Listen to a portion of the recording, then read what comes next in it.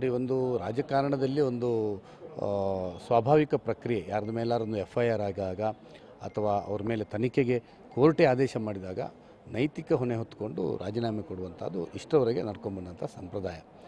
ಅಡ್ವಾಣಿಯವರು ಕೇವಲ ಡೈರಿಯಲ್ಲಿ ಅವರು ಹವಾಲ ಹಗರಣದಲ್ಲಿ ಡೈರಿಯಲ್ಲಿ ಪುಸ್ತಕ ಬಂತು ಎಫ್ ಐ ಆರ್ ಆಗಿಲ್ಲ. ಅವರು ರಾಜೀನಾಮೆ ಕೊಟ್ಟು ಕ್ಲೀನ್ ಚಿಟ್ಟಾಗಿ ಒಳಗೆ ಬಂದಿದ್ದಾರೆ.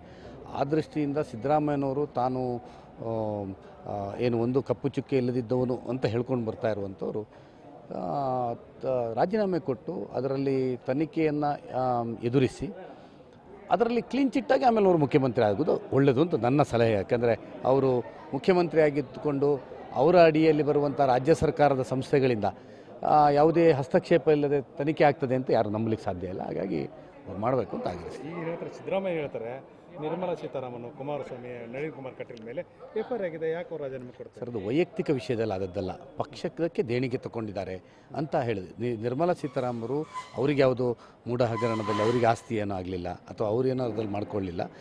ಚುನಾವಣಾ ಬಾಂಡ್ ಸ ಕೇಂದ್ರ ಸ ರಾಜ್ಯ ಕೇಂದ್ರ ಸರ್ಕಾರದ ಒಂದು ಅನುಮತಿ ಇರುವಂಥ ಬಾಂಡುಗಳು ಚುನಾವಣಾ ಬಾಂಡ್. ಅದನ್ನು ಅಧಿಕೃತವಾಗಿ ತಗೊಂಡಿದ್ದಾರೆ ಮತ್ತು ಅದಕ್ಕೂ ಈಗಲೂ ಕೋರ್ಟಲ್ಲಿ ಸ್ಟೇ ಸಿಕ್ಕಿದೆ. ಹಾಗಾಗಿ ಅದಕ್ಕೂ ಇದಕ್ಕೂ ಕಂಪ್ಯಾರಿಸನ್ ಬರಲ್ಲ ಅಂತ ನನ್ನ ಅಭಿಪ್ರಾಯ. ಸಿದ್ದರಾಮಯ್ಯ ಗಂಭೀರ ಆರೋಪ ಇದೆ. ನಾಡಹಬ್ಬ ದಸರಾ ಉದ್ಘಾಟನೆ ಮಾಡಿದ ಎಷ್ಟು ಸರಿ? ಅದು ಮುಖ್ಯಮಂತ್ರಿ ಆಗಿದ್ದಂಥ ಸಂದರ್ಭದಲ್ಲಿ ಮಾಡ್ಬೋದು. ನಾವು ಮಾಡಬಾರ್ದು ಅಂತ ಹೇಳಲಿಕ್ಕಾಗಲ್ಲ.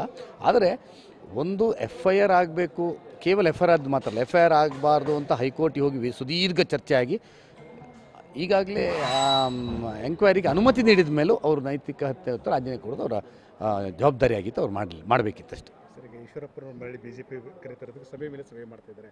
ತಾವು ಕರೆದ್ರೆ ಹೋಗ್ಬೋದಾ ಅಂತ ಖಂಡಿತ ಖಂಡಿತ. ನಾನೇನು ಬೇರೆ ಪಕ್ಷಕ್ಕೆ ಹೋಗಲಿಲ್ಲ. ನಾನು ಬಿ ಜೆ ಪಿ ಆಗಲೇ ಆ ಸಂದರ್ಭದಲ್ಲಿ ಹೇಳಿದ್ದೇನೆ. ಬಿ ಜೆ ಪಿಯ ಚುನಾವಣೆಯಲ್ಲಿ ಗೆಲ್ಲಿ ಸೋಲಿ ಜುನ ಬಿ ಜೆ ಪಿಯ ಕಾರ್ಯಕರ್ತನಾಗಿರ್ತೇನೆ. ಹಾಗೆ ಇವತ್ತಿದ್ದೇನೆ. ಕರೆದ್ರೆ ನಾನು ಮತ್ತೆ ಪುನಃ ಬಿ ಜೆ ಪಿಯ ಚಟುವಟಿಕೆಯಲ್ಲಿ ಭಾಗವಹಿಸ್ತೇನೆ. ಅತೃಪ್ತರ ಮೇಲಿನ ಮೇಲೆ ಸಭೆ ಮಾಡ್ತಾ ಇದ್ದಾರೆ.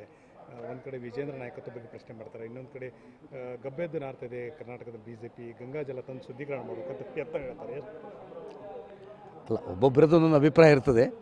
ನಾನು ನನ್ನ ಅಭಿಪ್ರಾಯಗಳನ್ನು ನಾನು ಚುನಾವಣೆ ಸ್ಪರ್ಧೆ ಮಾಡುವಾಗ ಬಿ ಜೆ ಪಿಯ ಬಗ್ಗೆ ಹೇಳಿದ್ದೆ.